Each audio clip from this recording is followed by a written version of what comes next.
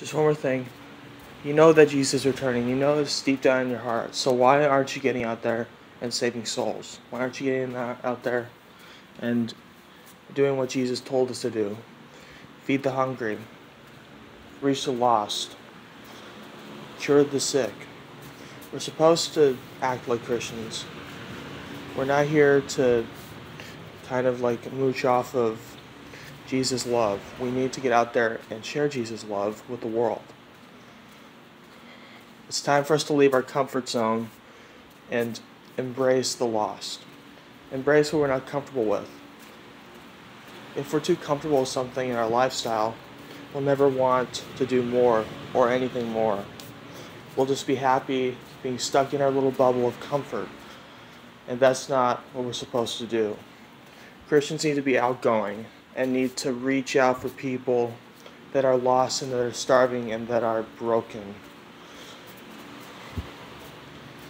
It's a big problem if you're stuck in your comfort zone and you have a plan, this is how it's going to work out.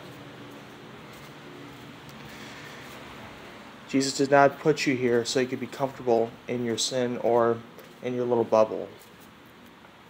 He put you here so that you could save those that are lost and then and reach those souls to bring them to heaven because there is a judgment day coming and we need to start getting out there and sharing Jesus with the world, sharing Jesus' message of grace and love. He loves them no matter what. And he wants to pull them out of hell and into heaven.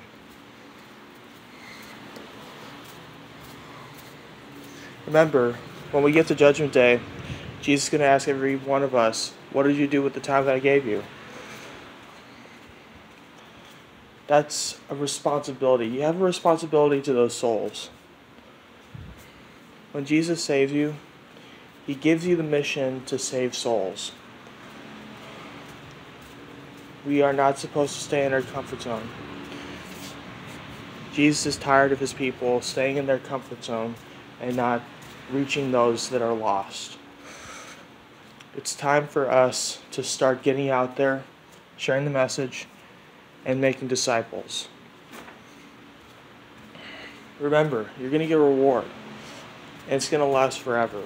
Those souls are your jewels.